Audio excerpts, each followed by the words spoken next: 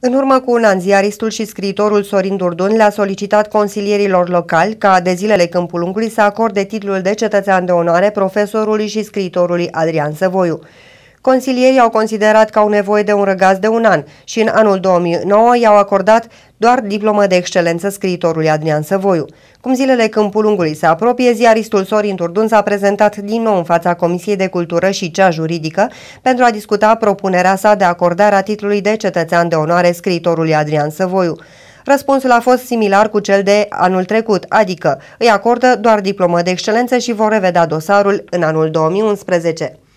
Consilierii uitaseră cu desăvârșire pentru ce ridicaseră mâinile anul trecut și pentru că Sorin Turdun le-a adus aminte de existența diplomei de excelență, în loc să reanalizeze decizia, au hotărât că nici diploma de excelență nu mai trebuie acordată în acest an.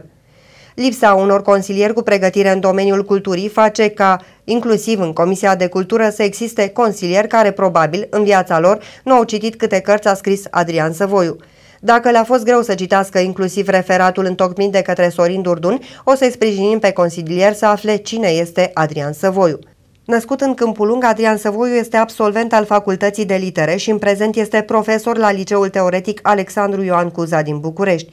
Este autorul manualelor de limba și literatura română pentru clasele a 9 și a 10 -a pentru școlile de arte și mezerii, a manualului de limba și literatura română pentru anul de completare, a ghidului elevilor din învățământul liceal și profesional pentru limba și literatura română. Pentru că printre criteriile stabilite pentru acordarea titlului de cetățean de onoare se află și unul care vorbește despre promovarea Câmpul Lungului, Adrian Săvoiu este cel mai prolific scriitor despre Câmpul Lung și iată și lista cărților publicate. Anul 2005, Câmpul Lung Mușcel, scrinul cu amintiri. Anul 2008, ediția a doua a cărții Scrinul cu amintiri. Anul 2008, Câmpul Lung în mărturile vremii. 2009, Câmpul Lungul pe hărțile lui Johannes Conterus și Sebastian Münster. Anul 2010, Mănăstirea Nomăiești. Anul 2009, Dimitrie Nanu, Mihai Moșandrei, corespondențe. În anul 2008 apare cartea 77 de conferințe radiofonice semnată Adrian Săvoiu, care cuprinde prezentările realizate de către omul de cultură Câmpul Lungean în timpul colaborărilor cu Radio România. Este de asemenea coautor al unui atlas dedicat exclusiv Câmpul Lungului, lucrare unică în România. De astfel de publicații beneficiază doar vreo trei capitale europene. Într-adevăr, erau prea multe amănunte scrise în referatul prezentat de către Sorin Durdun consilierilor locali, așa că, neobișnuiți, o parte dintre ei cu lectura au considerat că este mai interesant să respingă propunerea.